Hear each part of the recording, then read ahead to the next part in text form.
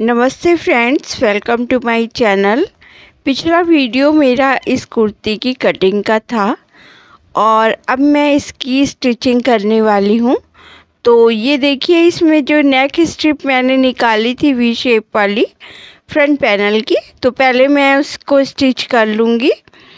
और ये जो बैक पैनल है, इसकी भी स्ट्रिप निकाली थी पिछले वीडियो में। तो इसको भी इस तरह से सीधी कुर्ती पे उल्टा रख के दोनों को मतलब स्टिच कर लेंगे। तो यहाँ देखिए, पहले मैं वी नेक वाला मतलब फ्रंट पैनल स्टिच कर रही हूँ। तो ये कॉर्नर से शुरू करेंगे स्टिच करना। देखिए कॉर्नर से एक साइड जाएँगे शोल्डर तक और फिर लौट कर उसको डबल कर देंगे। फिर कॉर्नर पे आ जाएँगे, फिर दूसरे शोल्डर तक जाएँगे। तो इस तरह से थोड़ा इक्वली लग जाएगी और फिर इसको फोल्ड करके अंदर डबल फोल्ड कर लेंगे अंदर के साइड और फिर एक सिलाई और दे देंगे साइड से। तो इस तरह से स्ट्रिप लग जाएगी दोनों पैनल की। तो यहाँ अभी मैं फ्रंट की आपको दिखा रही हूँ और उसके बाद ऊपर से सीधी साइड से ही मैंने ये जो इसी से मेल खाती लेस ली है तो इसको मैंने कॉर्नर पे किनारे किनारे साइड में लगा दिया है। तो इस पे भी डबल स्टिच देंगे, एक एक कॉर्नर पे और दूसरी, दूसरे कॉर्नर पे, जिससे ना अच्छे से ये स्टिच हो जाए। और इस कुर्ती में एक पैनल लगा हुआ था, जो रेडीमेड था, बना हुआ। तो वो थोड़ी कच्ची सिलाई थी तो उस समय मैंने निकाल दिया था। अब मैं इसको जब कुर्ती की कटिंग कर ली है मैंने तो अब मैं इसको स्टिच कर दे रही हूँ। तो इस तरह घुमा के डबल स्टिच दे दी है दोनों साइड्स में। और फिर अब जो लेस मैंने ऊपर लगाई थी, उसी को कंटिन्यू कर रही हूँ मैं इसके किनारे किनारे और जो गोल्डन लेस लगी थी इसमें खुद की, वो उसी के किनारे। तो इस तरह से ये पूरा नेक बन के कंप्लीट हो गया है फ्रंट पैनल का और ये बैक पैनल की स्ट्रिप ये कंप्लीट हो गई है दोनों पैनल इस तरह। अब क्या करना है? ये देखिए स्लीव पहले इसको करते हैं। ये देखिए मैंने उल्टा करके रखा है फ्रंट पैनल पे बैक पैनल को। और पहले शोल्डर्स दोनों ज्वाइन करेंगे।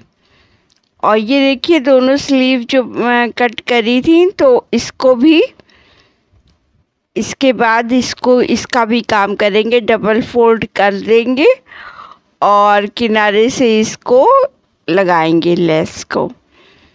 तो यहाँ पे पहले मैं शोल्डर ज्वाइन कर ले रही हूँ दोनों साइड के डबल स्टिच से। तो ये शोल्डर ज्वाइन हो गए हैं और इसको ज्वाइन करने के बाद ये देखिए जो स्लीव्स थी, उसको मैं इस तरह से लगा रही हूँ। पहले एक फोल्ड दे दिया सीधे के साइड फिर डबल फोल्ड लेस को रख के डबल फोल्ड कर दिया है उस पर क्योंकि लेस मुझे ना मतलब एकदम एंड में चाहिए है, ऊपर नहीं।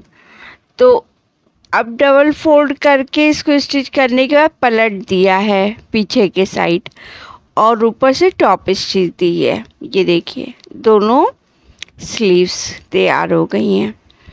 ये देखिए, एक काम और किया है मैंने। ये नेक जो था, मुझे कुछ छोटा लग रहा था तो बीस स्लिट दी है मैंने और सेम कपड़े की स्ट्रिप लगा के अंदर की ओर फोल्ड कर दिया। नीचे के जो दो बटन थे, वो इसके नीचे मैंने टक कर दिए हैं।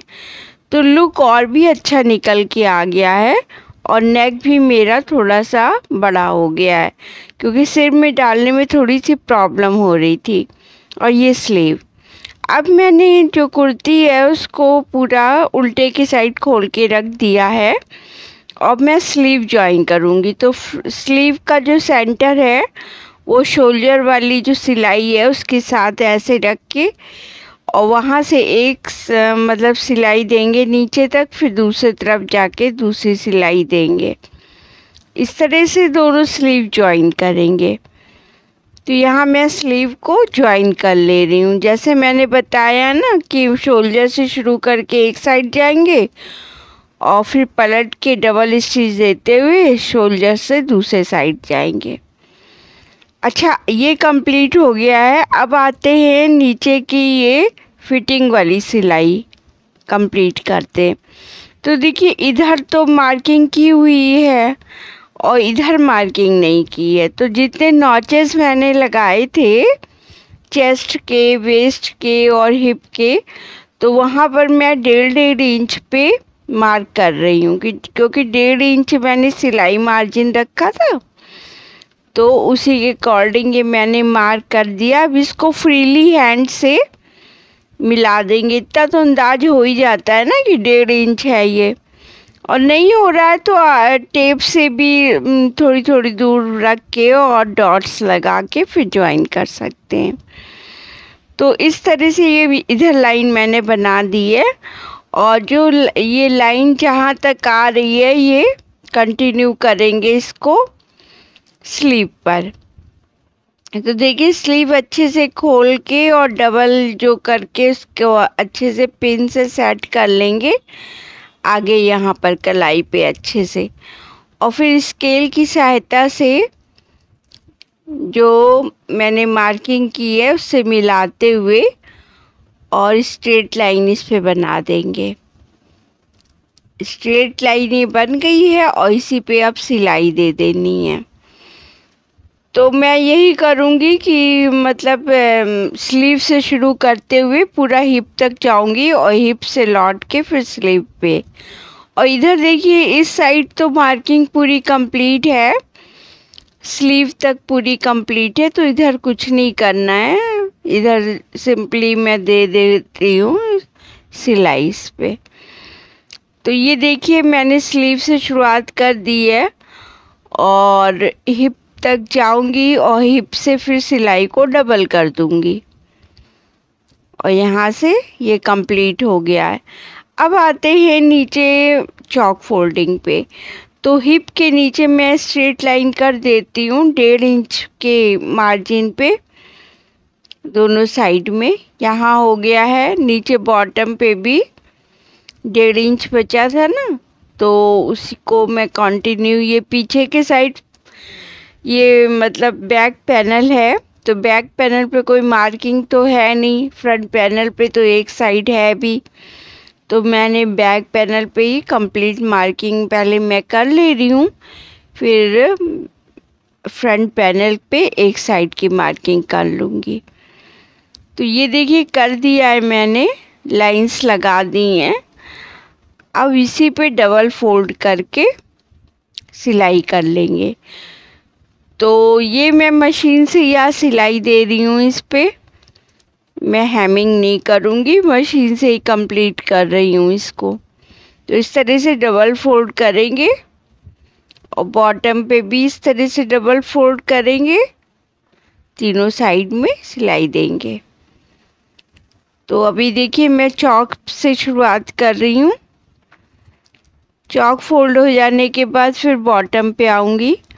अच्छा बॉटम पे एक स्ट्रिप और लगी थी रेडीमेड स्ट्रिप लगी थी, जिसमें ये कॉर्नर पे ये गोल्डन लेस लगी थी तो वो मैंने इस पर स्टिच कर दी है। इस तरह से पूरी कुर्ती बन के रेडी हो गई है, और ये वही लेस है जो ये बॉटम में मैंने लगाई है फ्रंट पैनल में। और इस तरह से चौक फोल्डिंग हो गई बॉटम फोल्डिंग हो गई ये देखिए बैक पैनल में कंप्लीट हो गया है और फ्रंट पैनल में इस तरह से पूरी कुर्ती बन के रेडी हो गई है। नीचे का पार्ट हो गया ये पूरा। अब मैं ऊपर के दिखाती हूँ। ये देखिए, ये पूरा कंप्लीट हो चुका है पहले ही। ये नेक लाइन पूरी कंप्लीट हो चुकी है, जो एक्स्ट्रा मैंने बाद में मॉडिफिकेशन किया था। स्लिट डाल के और बटन को ऊपर लगा दिया था और ये स्लीव रही। स्लीव दोनों, स्लीव में जो लेस लगाई है वो आगे की साइड करके मैंने लगाई है। तो पूरी कुर्ती बन के रेडी हो गई है। इस तरह से स्टिचिंग यानी वीडियो मेरी कंप्लीट होती है और कटिंग की वीडियो मेरी इससे जस्ट पहले की है। तो उसको भी वॉच करिएगा और उससे अच्छे से समझ में आएगा। और उसके बाद फिर स्टिचिंग की तो देख ही रहे हैं। तो इस तरह से पूरी कंप्लीट हो गई है kurti. So thank you watching friends